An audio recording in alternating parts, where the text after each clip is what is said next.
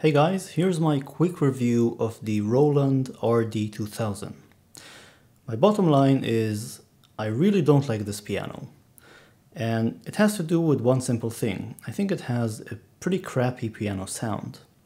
I like everything about this, uh, except for the main piano sound, which is I like the action, I like the options, I like the fact it has two mod wheels, and a lot of different things, but I just hate the piano sound. I'll just play something for you using the different pianos and you can judge for yourself, but I personally found it to be really boomy and uninspiring. Here's Stage Grand, which is the main piano of this instrument.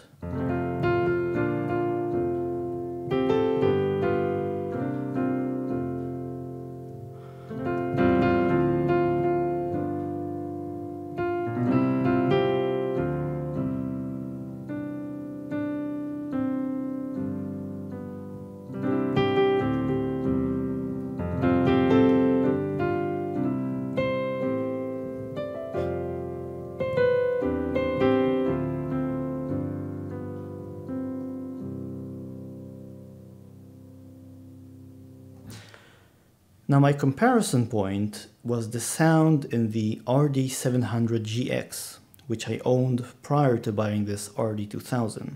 And one of the things Roland did was they actually made this sound available as an expansion to this piano.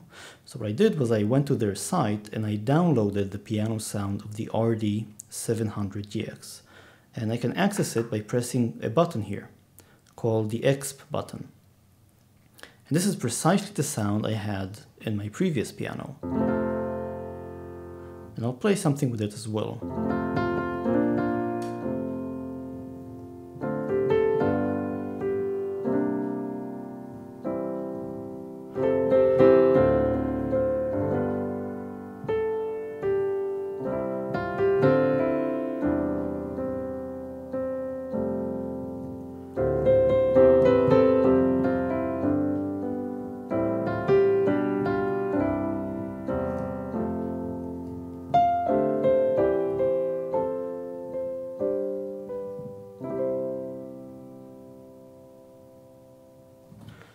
Personally, I think it sounds at least as good, if not much better, than the boxy RD2000 main sound. Again, let me play just a small progression between, you know, using the two sounds so you can hear it. Using the RD2000 sound.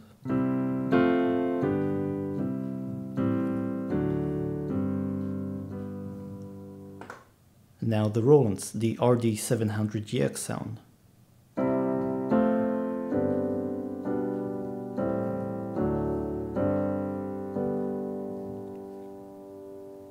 Some high registers. RD2000.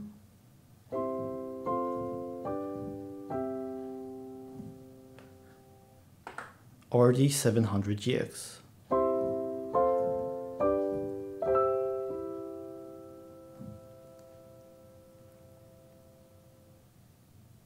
Now some of you might be saying, well, this is just one sound, stage grand.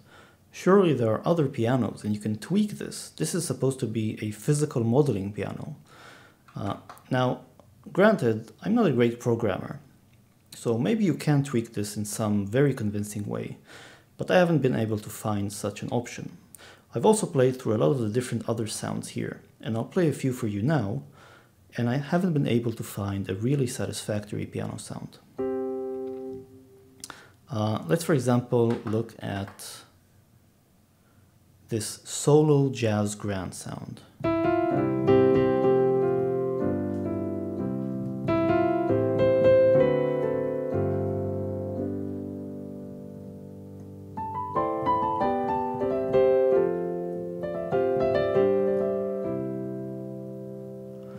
Again, not too bad, but still, at least, I mean, it's on par or worse than the 700GX sound.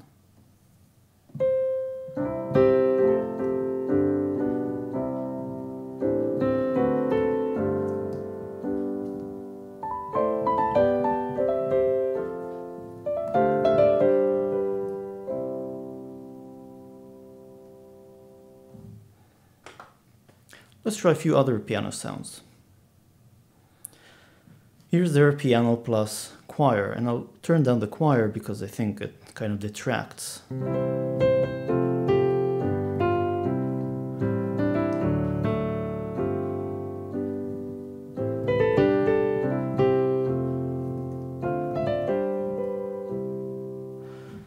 Again, it has the same kind of boxy sound that characterizes all of the RD2000 pianos. And in my opinion, this probably has to do with the fact that these pianos are completely, and I mean completely, uh, physically modeled and not sampled, at least according to the Roland site. Uh, everything else about this board is great. Uh, the touch is great, you know, the action is great, the controls are great, the electric piano sounds are great. You know, if I just look at their 1975 Tine piano sound,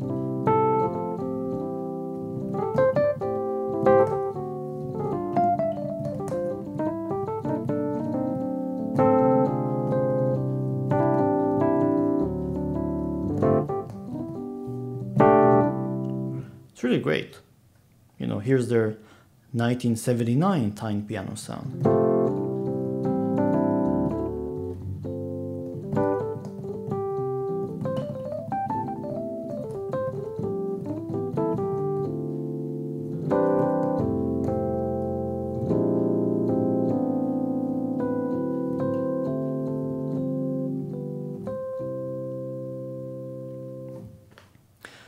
And I could go through all the sounds and convince you that this, this piano is really something, uh, and it really performs well on all other counts, but I find it unacceptable that a digital piano has a crappy main piano sound.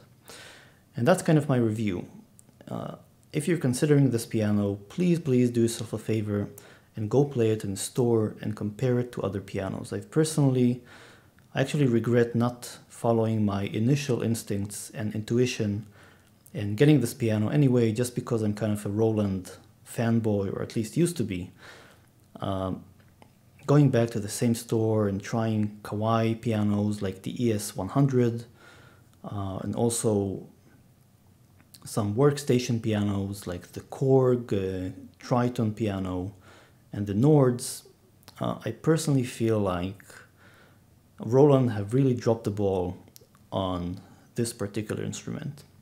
And my bottom line is just don't buy it, or at least do yourself a favor and test other pianos before dropping the you know your money on this board. That's it. I hope uh, I've given you some food for thought, and hopefully I'll see you next time.